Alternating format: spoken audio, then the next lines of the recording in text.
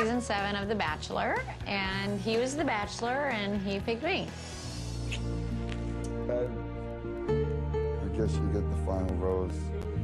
Um, I don't want any more roses, though. no more roses ever. Never any more roses. After dating for about two years, Charlie and I broke up. We really needed some time to kind of figure out things on our own for a minute.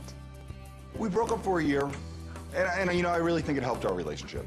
And then when we came back together, we, we enjoyed each other a lot more. After we got back together, we did it in a very slow, gradual way. We'd both gone through a lot, we'd both changed a lot as people, and we really just fell back in love with each other. I mean, don't you think we'll be ready to get a house within a year? We're getting closer. We're getting closer than we've ever been. We're looking at houses, uh, thinking about moving in I don't want to live together, though, till we're married. Well, looking at houses. So whenever I have a ring, we'll buy one.